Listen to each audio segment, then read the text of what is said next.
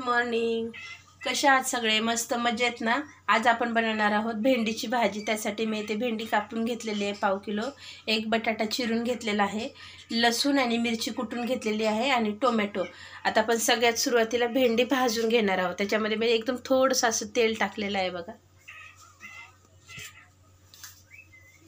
भेंडीमध्ये जो चिकटपणा असतो तो घालवण्यासाठी भेंडी सुरुवातीला आपण भाजून घ्यायची आहे.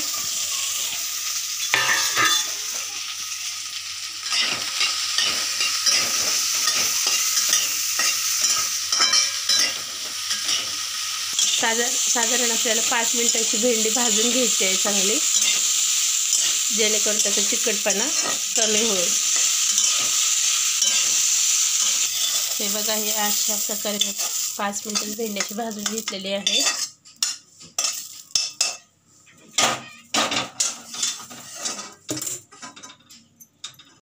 एक ते दीड चम्मच मी तेल टाकलेलं आहे. त्याच्यामध्येच मी बटाटा फ्राय करून घेणार आहे.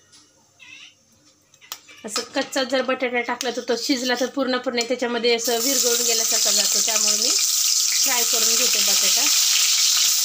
त्यामुळे आठ अख्खा तसंच बटाटा राहील.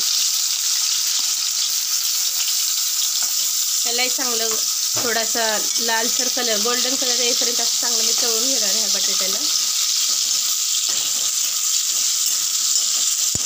भेंडीचे कटलेले डाग कसे पडले कडेला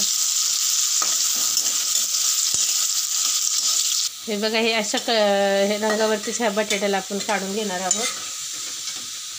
आता मी याच्यामध्ये लसूण आणि मिरची जे कुटून घेतलेलं आहे जे फ्राय करून शिल्लक राहिलेलं तेल त्याच्यामध्येच हे टाकणार आहे.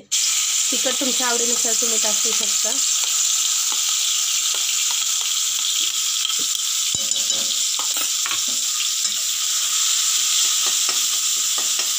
आणि व्हिडिओ पूर्ण बघत जावा.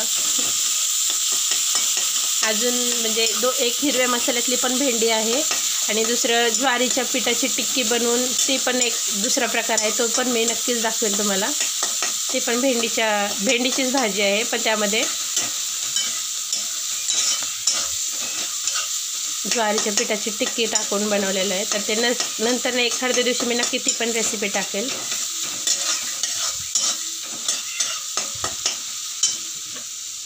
गॅस थोडा फास्ट केला हे बघा मिरची मी अशी भाजून घेतलेली आहे. आता मी याच्यामध्ये टोमॅटो टाकणार आहे.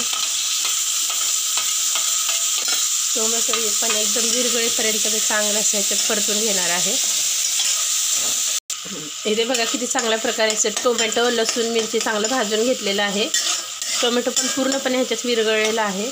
आता मी ह्याच्यामध्येच बटाटा आणि फ्राय करून घेतलेलं फ्राय करून घेतलेला बटाटा आणि भेंडी टाकणार आहे.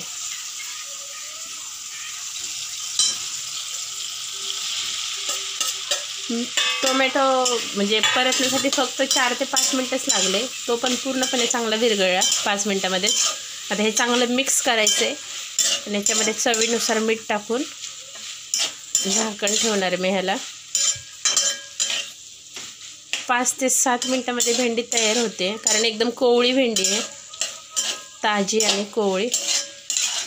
आता मीठ टाकणार आहे. मी लसूण आणि मिरची कुटताना पण मीठ टाकलेलं. तर मी आता थोडंच मीठ टाकते. चांगलं मिक्स करून झाकण देणार आहे याला. झाकण ठेवणार आहे.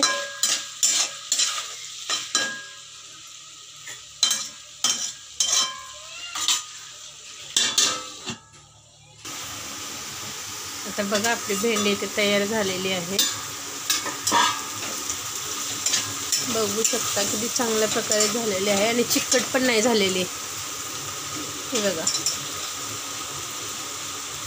हे शिजले का नाही हे पण मी तुम्हाला दाखवते हे बघा. बटाटा पण शिजलेला आहे. चांगल्या प्रकारे झालेली आपली भेंडी. चिकटही झालेली नाही आहे तुम्ही कशी करता भेंडीची भाजी? कमेंट बॉक्समध्ये सांगायला विसरू नका. तर कशी वाटली भेंडीची भाजी? आवडली असेल तर नक्की कमेंट बॉक्समध्ये सांगायला विसरू नका. आणि तुम्हीसुद्धा नक्की करून बघा खूप छान लागते. व्हिडिओ जर आवडला असेल तर नक्की लाईक करा शेअर करा आणि सबस्क्राईब करायला विसरू नका. चला तर मग बाय बाय